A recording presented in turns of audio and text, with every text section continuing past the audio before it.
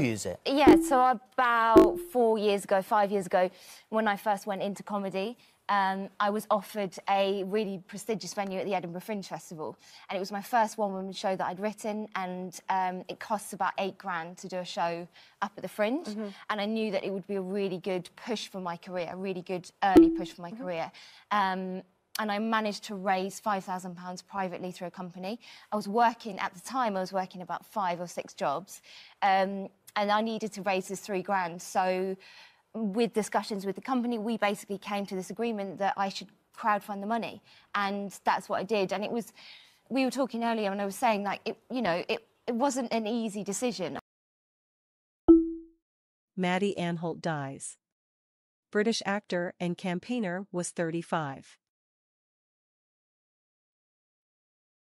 British actor and campaigner Maddy Anholt has died, her family has said. She was 35. Anholt died of a rare and aggressive form of brain cancer yesterday, according to a post on her GoFundMe page. It is with profound sorrow that we announce the death of Maddy Anholt, our beloved daughter, sister, twin, friend, wife and mother, who left this world on Wednesday, September 13, aged 35, said the Post, which was signed Kathy, Lawrence, Claire, Tom and Ben. You may know that shortly after the birth of her incredible daughter Opal last year, Maddy was diagnosed with a rare and aggressive form of brain cancer. She handled the ensuing surgery and treatment with astonishing grace and courage, accompanied every step of the way by her family and devoted husband, Ben.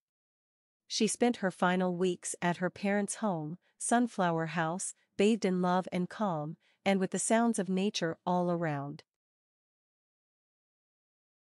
The Post said that she had accomplished so much during her short life, including being a marathon runner, actor, speaker, and an ambassador for Women's Aid. Anholt acted in shows for a number of broadcasters including BBC Comedy Jerk and ITV's The Emily Atack Show. She on podcast series Sketchtopia and short film Kelly, in which she co-starred with Scroobius Pip. Anholt's GoFundMe page asked people to send a donation to Women's Aid, her favorite charity.